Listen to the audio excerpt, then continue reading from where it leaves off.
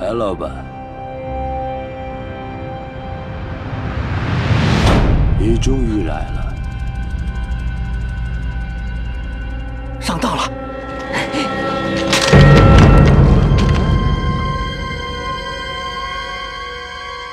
哎哎，都别动，都别动！谭王祖，你他娘胆子也太大了，敢跟皇军作对，你他娘找死啊！小瘸子，你这个忘恩负义的小人，我没想到，你谭爷爷闯荡江湖这么多年，竟然会在你小河沟里翻了船。即便我谭望祖被他们杀死，但我绝不放过你，你这个混蛋！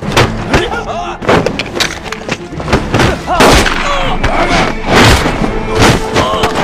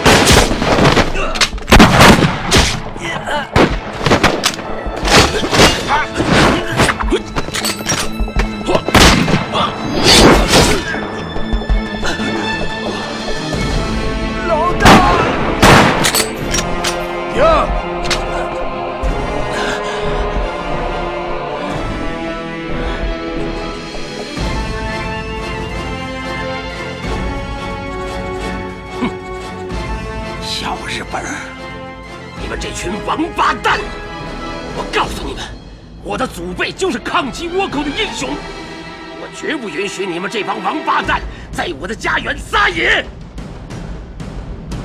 台湾主，你现在就是一只乱窜的老鼠。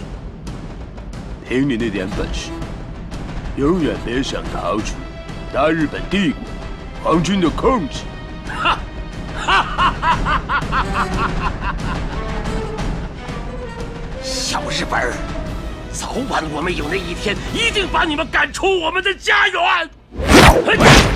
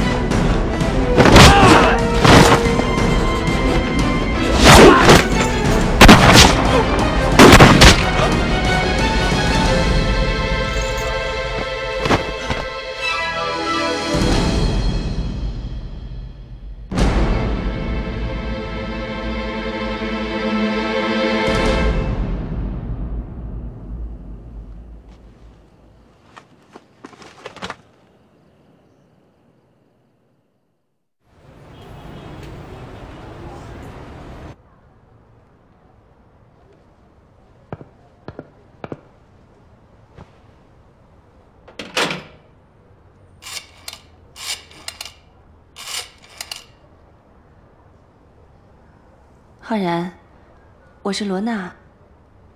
安妮在我这儿呢，你就放心吧。浩然，你到底跟她说了些什么？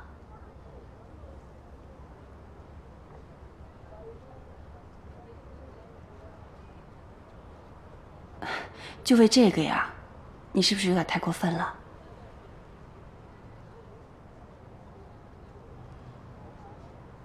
好，我尽力。再见。陆浩然那边的情况怎么样了？还在我们的监视之下，一切正常。嗯，很好。啊，他最近和安妮吵了一架，安妮医生离家出走了。你有没有跟着安妮？属下认为安妮已经没有价值了，就一直盯着陆浩然，没有去盯着他。不，安妮很有价值，至少他在我们手上还是一个筹码。啊，属下失职。没关系，偌大的一个上海，安妮认识的人没有几个。他今天没有到我这里来，说明他对我也产生了怀疑。安妮可能去的只有一个地方。罗娜医生家里。嗯，上山君很聪明。现在外面这么乱，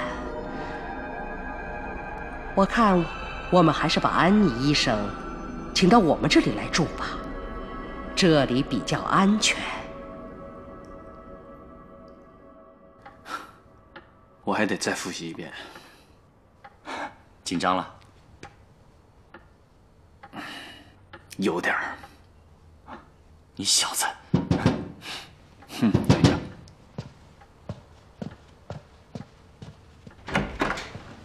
哎，俊杰，坐。浩然呐，啊，放心吧，都已经准备好了。好。哎，我们这次啊要严格按照我们的方案执行，绝不能动用武力。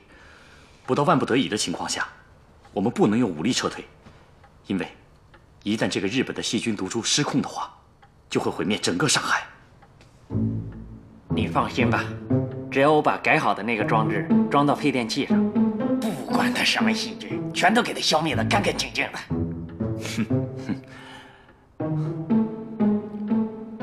陈忠，你负责执行第一个计划。嗯，拉着黄包车在这个煤经常出现的地方转一转，引他上钩。好，俊杰，你配合他的行动执行第二个计划。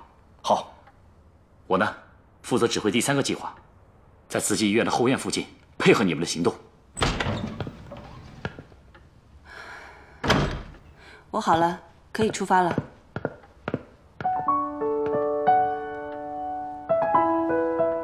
哎，安妮，在你那儿没事吧？你这都问第二遍了，放心吧，我出来之前他就已经睡着了。不过，你的目的是达到了，他想离开这里。等这次任务完成以后，我就送他们出去。嗯。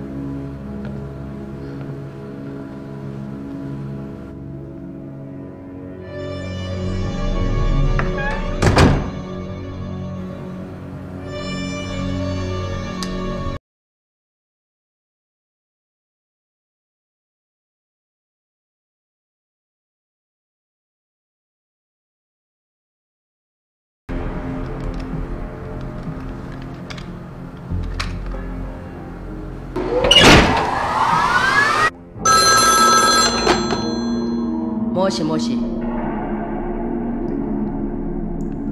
梅金博士回来了，很好。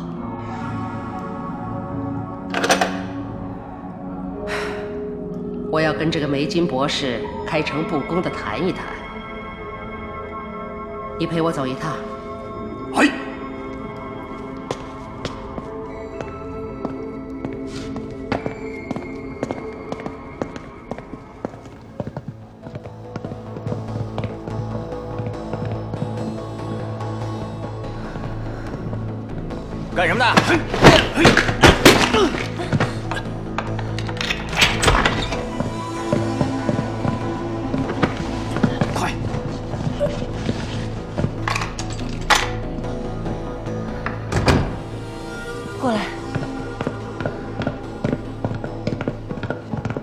在这儿。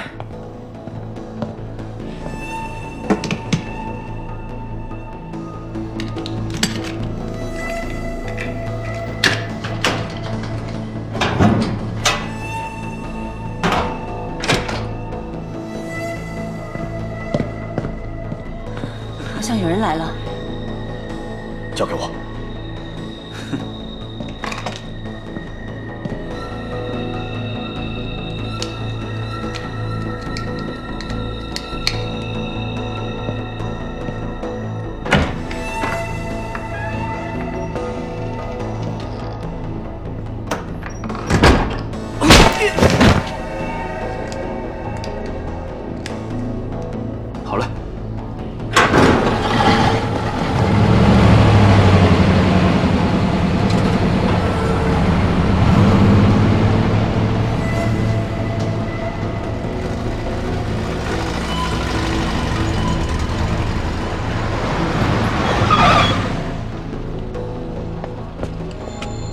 刚才出去的车，是不是梅金博士的车？是是是。快，快进去检查实验室毒株。嘿，开门。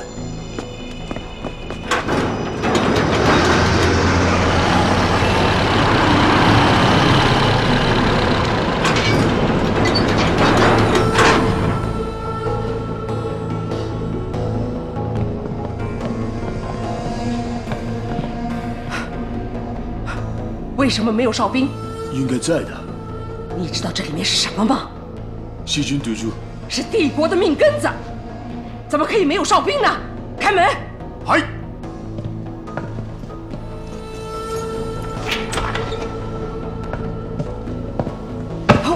毒株先生。啊！怎么回事？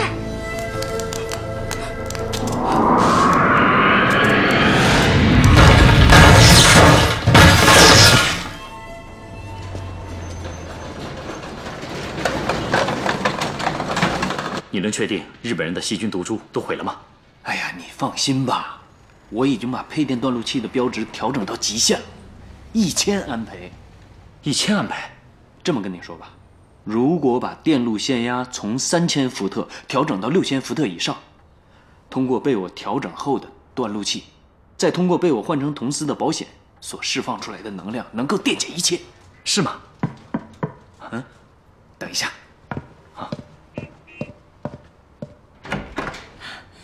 浩然，不好了，安妮不见了。你说什么？安妮她不见了？什么时候啊？我一回到家，她就已经走了，留下了这个。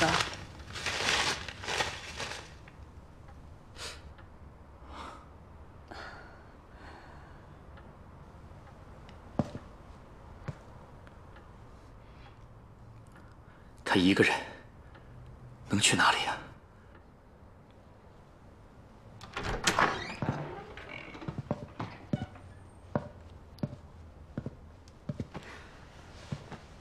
沈伯母，我叫德川千代子。安妮医生，我们久违了。浩然说的，浩然说的是真的，你真是日本人。你的丈夫很聪明，但是他犯了一个愚蠢的错误，他没有把你保护好。原来，原来所有的事情是你做的。嗯，我舅舅是我抓的，秦怡是我杀的，那诗瑶呢？也是我杀的。可是她是你的亲生女儿。她不是我的亲生女儿，她是我从南洋领养的一个孤儿。即便她是我的亲生女儿，为了大日本帝国，她也必须牺牲，我也不例外。你，你想干什么呢？我希望你在这儿住下，享受一下日式的生活。这是你在上海和英国都享受不到的。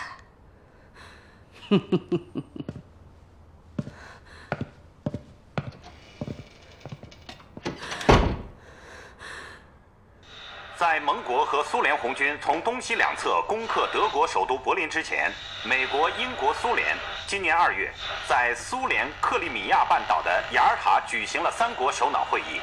这次会议实际上是法西斯德国败局已定、欧洲大战即将结束的形势下，苏美英三国首脑安排战后世界事务的会议。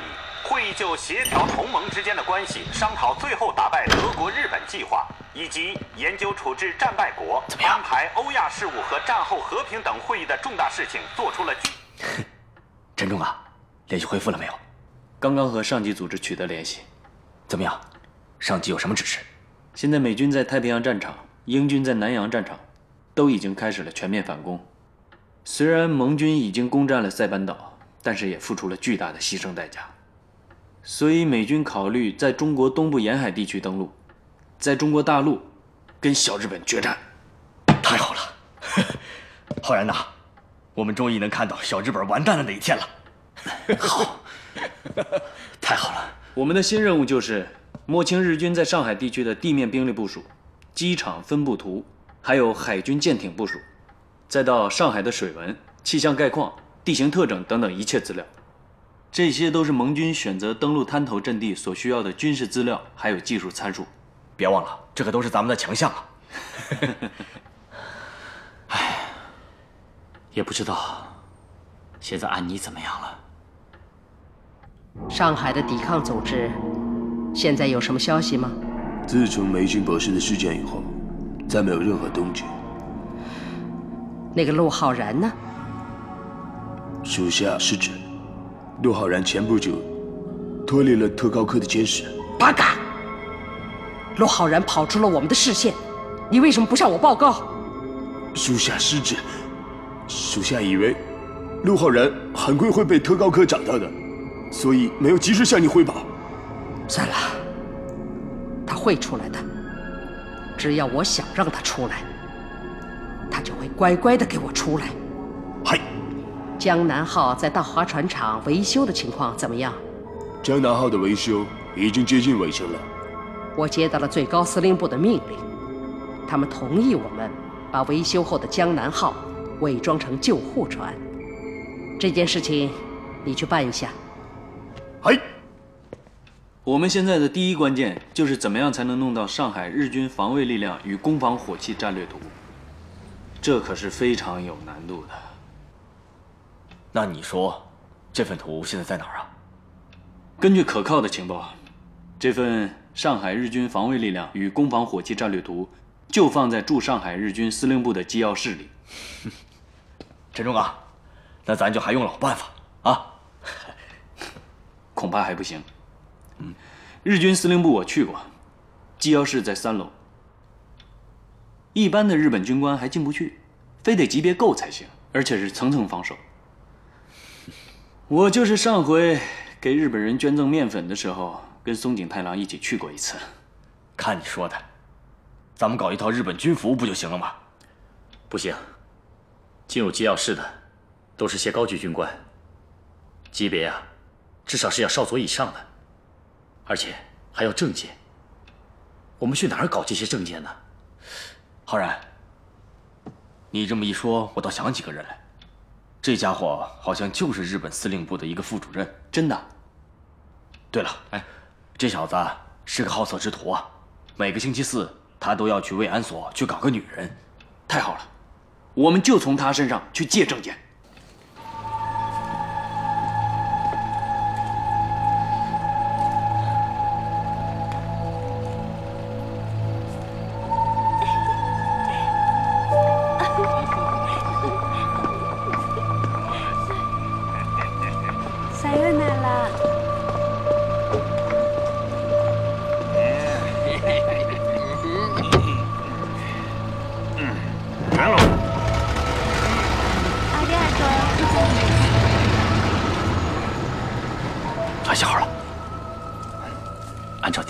执行。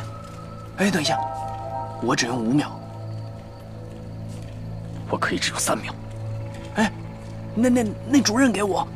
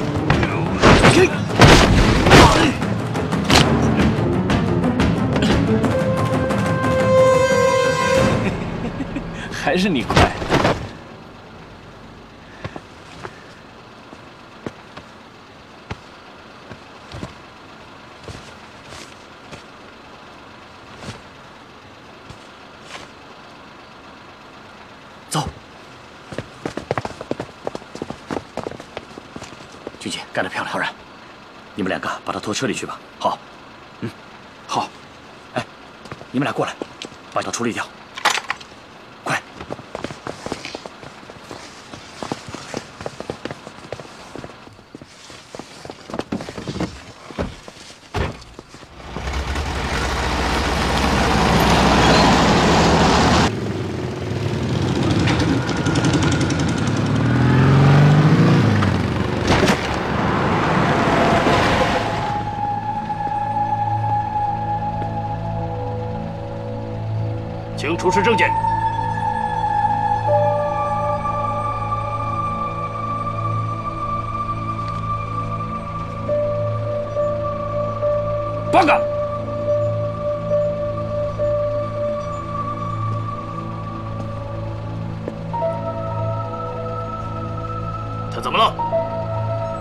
久了。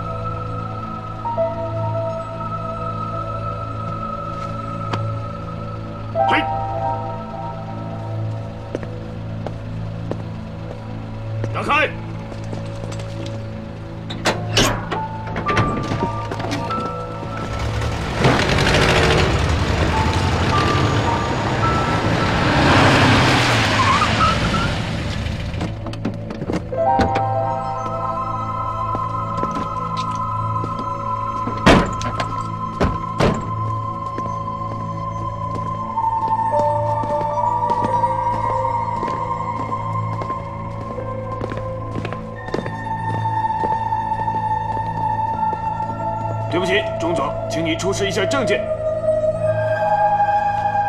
是秘书长让我来取一份文件。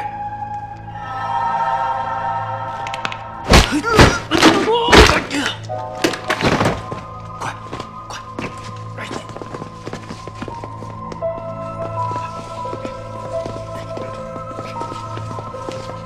哎，不对呀、我怎么记得金钥匙是这个房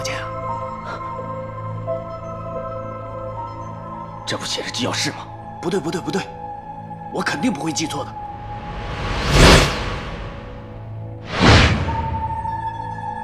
并不厌诈，干脆两个房间都找找。好。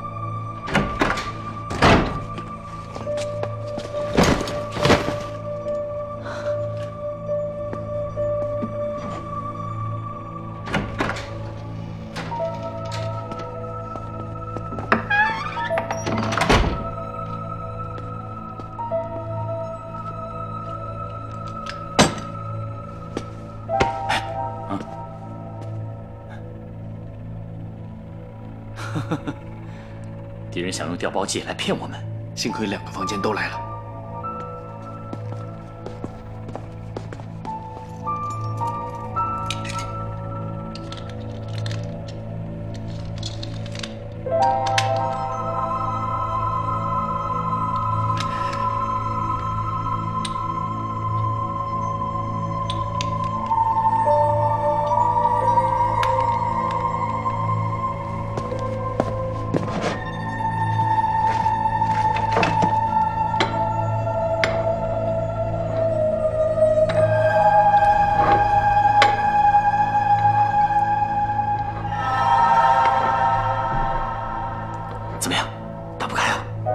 别着急，这个比银行的保险柜要复杂的多。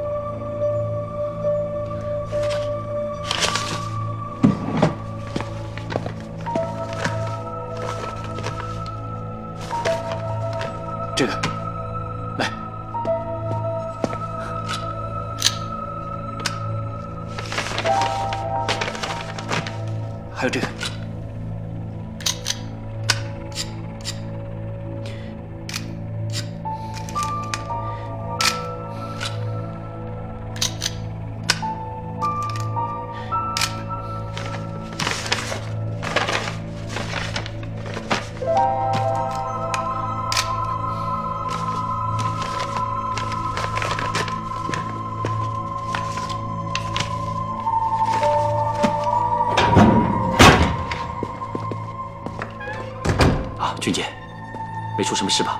我能出什么事？浩然啊，你看，《上海布防图》。《上海布防图》怎么会有两个版本啊？俊杰，这张从哪儿找到的？就在那个抽屉里。看来这个房间里已经没有什么有价值的东西了。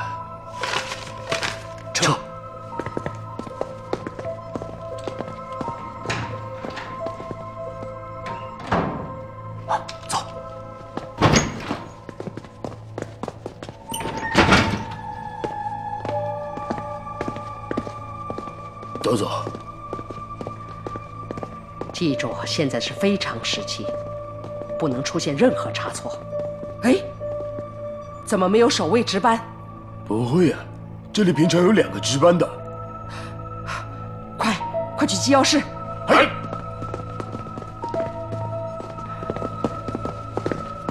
开门。嘿。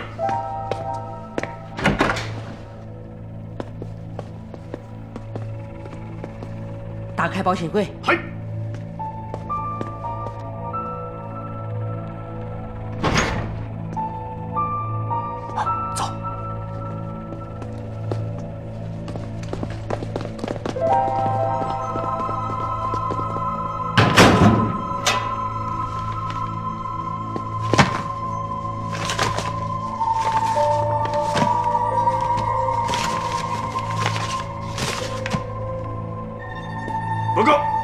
机要室发现两个被害的哨兵。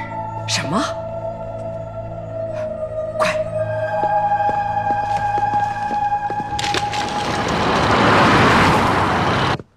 要是抵抗组织潜入了司令部的机要室，丢失了什么东西没有？没有，杀死了两个士兵。其他房间有没有异常？没有。幸亏德川先生事先让我们把机要室和秘书室的门牌调包，要不然后果不堪设想。是啊。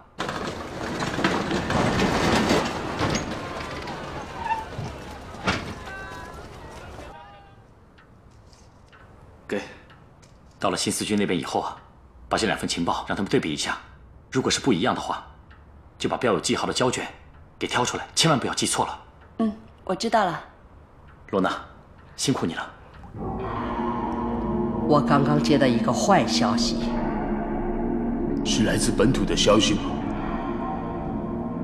美英苏三国首脑在德国柏林附近的波茨坦举行代号为“终点”的秘密会议。这个会议结束后，中美英向天皇发出敦促帝国投降的波茨坦公告。最高司令部是什么态度？必须将战争进行到底。这么说，决战在即了。日本本土。中国台湾、上海及南洋岛屿等前沿生命线展开登陆抗击战，我们的士兵将以肉体去与盟军的飞机、坦克、舰艇和大炮决一死战，以此报效天皇。可是，硫磺岛战役已经把我们海军力量削弱到了最低点。如果再继续打下去，会使帝国变成一片焦土，我们就更没有翻身的机会了。本土的玉碎计划和国外的焦土计划，是我们大日本帝国唯一的选择。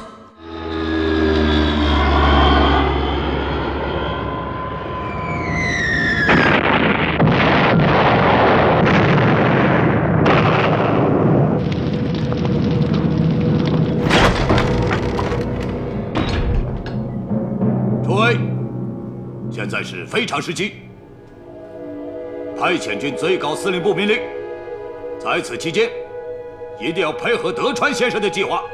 下面请德川先生讲话。各位，你们认识这个吗？这个英文名字叫 “soft”，就是一种制造衣服的原料。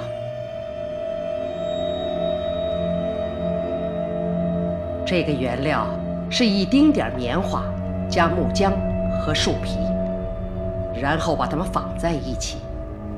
现在日本本土的乡亲父老就穿这种东西制成的衣服。橡胶没有了，他们就穿这样的鞋子。粮食根本不够吃，野外的草坪斑斑躯体，能入口的野菜也都被挖光了。干活的都是一些孩子们，他们每天工作十五个小时，然后就睡在流水线旁边。这是为什么？这都是因为盟军的封锁，我们的食品和几乎所有关系命脉的原材料供应基本被封锁。现在大日本帝国已经到了最关键的时刻，我建议组织一支敢死队。无比英勇的投入战斗，我们要发扬大日本帝国的敢死精神，荣光万世。各位，请大家一定要奋勇作战，为帝国奠定坚实的基础。大日本帝国万岁！大日本帝国万岁！安静，上山君，请坐。现在的局势比任何人想象的都要严重。现在日本的钢铁。月产量不足十万吨。由于铝、锡的不足，战斗机的许多部件都是竹子代替的，因此我们急需三千吨锡、铁燃料和一切战略物资，我们就可以建造一支像硫磺岛空军力量差不多的军队。阁下，帝国强大的空军都被消灭了，这么点东西。会不会是杯水车薪？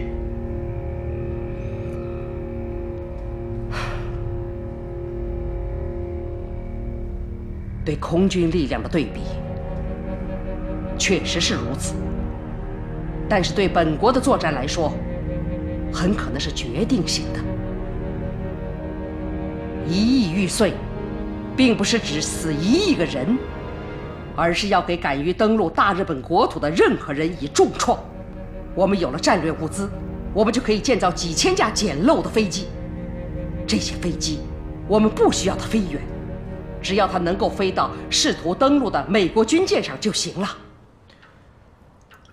停泊在大华船厂的江南号已经彻底修好了，它被改装成了救护船。江南号已经修缮完毕，原来从船上卸下的物资，已经重新装回到货舱里了。很好，你看江南号像什么？江南号改装成救护船的样子，看上去怪怪的，尤其是船身上大大的红十字标志，看上去就像一个大山板。哼，这不是一条山板，它是诺亚方舟。我们这条诺亚方舟来之不易呀，是帝国以国际红十字会为中介，和同盟国达成的一个协议。出于人道主义考虑，他们批准江南号只能用它来运输伤员和非战斗人员。日本啊，在上海不是主战区，没有那么多伤员，而且日本的军人如果受伤以后，都会选择自杀，所以这里的伤员数量并不是很大。所以我就在想。这会不会是日本人安置的一个烟雾弹？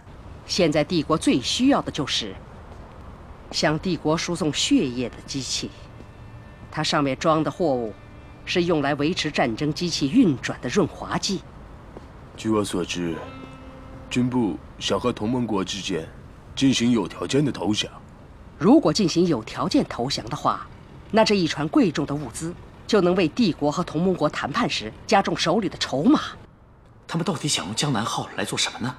我怀疑啊，日本人要耍什么阴谋。我注意观察了一下江南号，它的吃水可是比以前更深了。他们这么做到底是什么目的啊？我想，他们一定要在船上装更重要的东西。现在我要把这个船所有的空余舱位全部装上货物，你去调一个连队来，让他们充当苦力，往江南号上装货物。可是。此事调这么多的兵，是需要松井司令官签字的。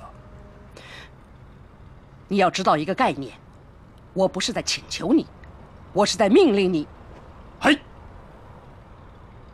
记住，一个中国人都不能用，全部要用日本人。我要你寸步不离，日夜监视，五天之内装货完毕。明白。哎，我想起来了，我在偷袭江南号的时候。在船坞里发现了很多货箱。你说的这些物资，一定是日本人从中国其他地方掠夺来的重要物资。所以啊，我们要发动所有力量，对他们进行全面调查，任何一点信息都不能漏掉。我还要在适当的时机，转移一些上海非战斗人员和帝国的高级将领的家属，还有那个梅金博士的助手。只是。这个时候，转移高级将领的家属，势必会动摇军心的。这些人是用来掩人耳目，而且这也是我整个计划当中最重要的一环。阿莫的仇还没有报，我们还是把江南号给炸了吧。哎，你先不要激动，我已经说过很多次了，炸船要慎重行事。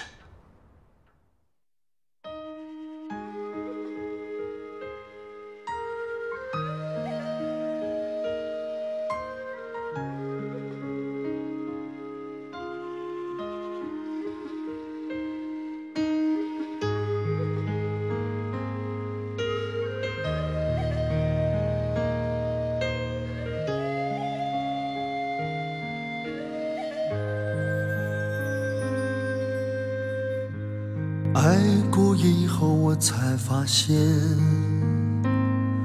有些承诺必须永远。感谢你陪在我身边，黑暗中让我看见远方的光，照进了家园。勇敢的向。前望，